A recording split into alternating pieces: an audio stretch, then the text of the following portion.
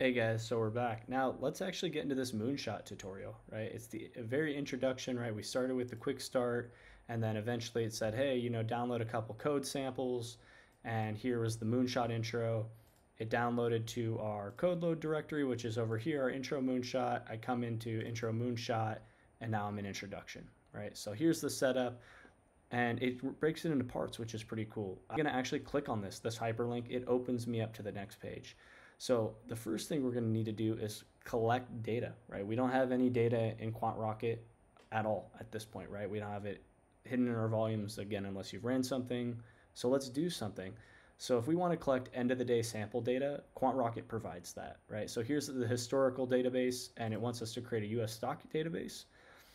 And here's a couple parameters. On any of these guys, you'll notice that you kind of get this highlighting of blue under, uh, under all these um, methods, classes, whatever the case is.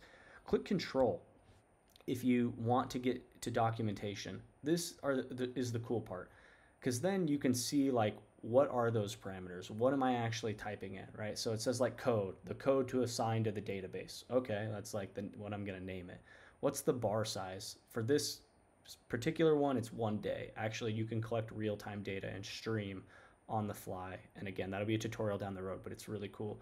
And then do we want to limit it to sample free data? For this tutorial, yes, right? Because we have just set up a very base free QuantRocket account. No problem. I just want free data.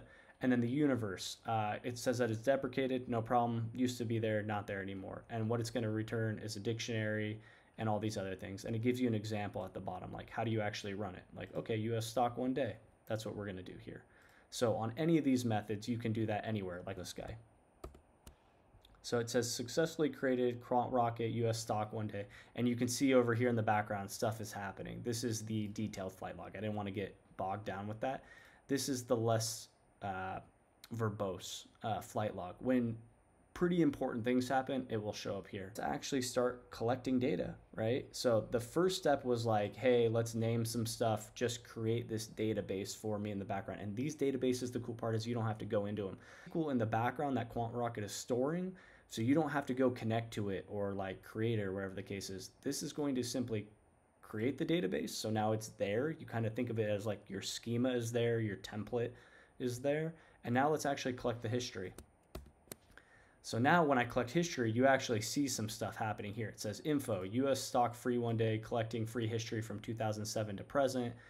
And here's all this stuff that it's collecting. Um, so now it said, it was pretty darn quick because this is free data, right? It's not massive. Collected 203 monthly files in US stock um, one day in the SQLite database. Cool. So now I have data, right?